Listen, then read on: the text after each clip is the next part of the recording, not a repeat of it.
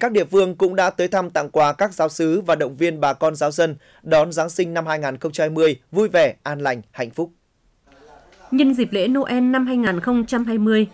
huyện Văn Yên đã thành lập 14 đoàn công tác đến thăm tặng quà các chức sắc chức việc, các tổ chức tôn giáo trực thuộc đạo công giáo và đạo tin lành tại các xã thị trấn trên địa bàn huyện.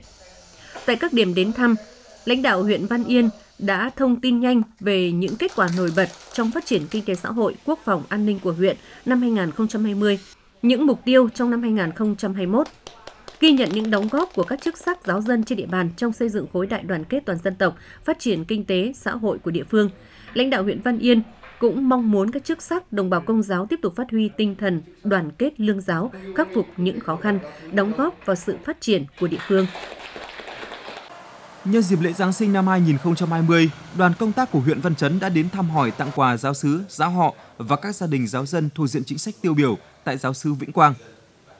Trong những năm qua, linh mục, thành viên hội đồng mục vụ giáo sứ, giáo họ, đồng bào giáo dân giáo sứ Vĩnh Quang, huyện Văn Chấn luôn tin tưởng tuyệt đối vào sự lãnh đạo của Đảng, xây dựng mối đoàn kết lương giáo, chấp hành tốt đường lối chủ trương của Đảng và chính sách pháp luật của nhà nước. Ghi nhận những đóng góp của giáo sứ và bà con giáo dân trong phát triển kinh tế xã hội, lãnh đạo huyện Văn Chấn mong muốn trong thời gian tới, linh mục và giáo dân giáo sư Vĩnh Quang tiếp tục phát huy tinh thần kính Chúa yêu nước, thực hiện tốt các đường lối, chính sách, pháp luật của Đảng và nhà nước, sống tốt đời đẹp đạo, tích cực tham gia phát triển kinh tế xã hội ở địa phương. Trạm Tấu hiện có 710 hộ, hơn 4.300 giáo dân ở hai giáo xứ là giáo xứ Giàng La Pán và giáo xứ Phình Hồ. Trong năm qua, đồng bào công giáo huyện Trạm Tấu luôn chấp hành tốt các chủ trương đường lối chính sách pháp luật của Đảng và Nhà nước, thực hiện phương châm kính Chúa yêu nước, nêu cao tinh thần đoàn kết, gương mẫu tích cực phát triển kinh tế xã hội tại địa phương. Đời sống của người dân không ngừng được nâng lên, tỷ lệ hộ nghèo giảm, các hủ tục lạc hậu được xóa bỏ. Nhân dịp Giáng sinh 2020 và chuẩn bị bước sang năm mới 2021,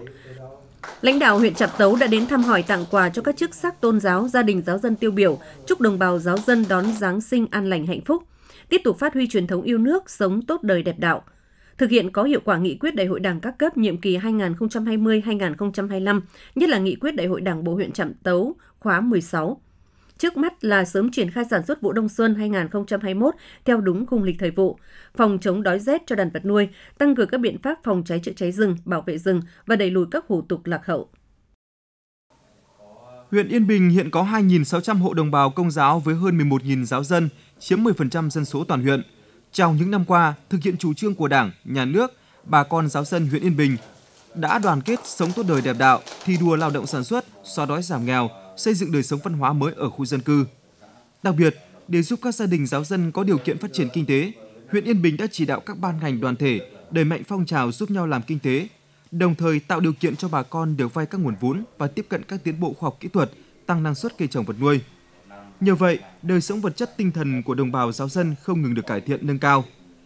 Tỷ lệ hộ khá giàu chiếm trên 60%, tỷ lệ hộ nghèo giảm còn dưới 10%. Đặc biệt, hưởng ứng phong trào chung tay xây dựng nông thôn mới, toàn huyện đã vận động được hàng trăm hộ giáo dân tự nguyện hiến hàng chục nghìn mét vuông đất, cây cối, hoa màu, vật dụng kiến trúc cùng ngày công lao động và tiền mặt để xây dựng cơ sở hạ tầng nông thôn. Bên cạnh đó, bà con giáo dân Yên Bình còn tích cực đóng góp các nguồn quỹ, nhất là quỹ ngày vì người nghèo, góp phần thực hiện tốt công tác an sinh xã hội trên địa bàn.